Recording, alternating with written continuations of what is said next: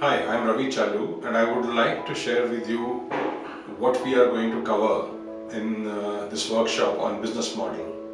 Our experience in Bulletproof Your Startup has been that uh, most startup entrepreneurs don't see the startup as a business, a business with an uncertain future.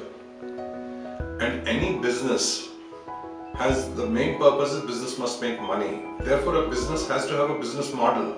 It has to have a business plan. Are you aware what all goes into a business model? Do you know there are nine key areas that you will need to cover in your business model? At a very high level, uh, business model is something where your value proposition is very clearly defined. Your systems and processes are very clearly defined and tested. And your revenue model is very clearly defined and tested. But how do you make these three things happen?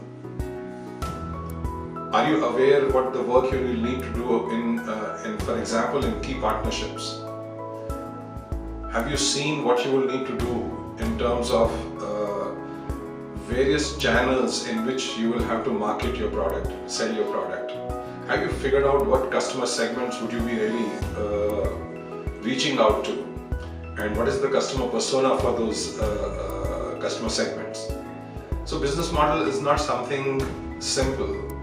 There are a lot of complexities and unless you think about business model right from stage one and you steer your business model through all the changes that will happen in your journey in building your startup into a, a company that is successful and sustainable you would really have to understand business model requirements at each stage which is whether it is idea to opportunity where you will discover your MVP or whether it is product market fit stage where you will actually start realizing traction in the market or the business model discovery stage where you'll start discovering what revenue models start working, what systems and processes will you need to deliver your value proposition.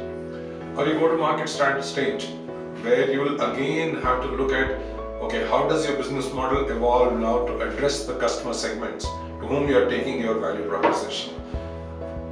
Come to this workshop and understand all the intricacies and all the basic work that you would have to do in a business model at the five stages of your business evolution, which is idea to opportunity, product go to market fit, business model discovery, go to market strategy, and growth.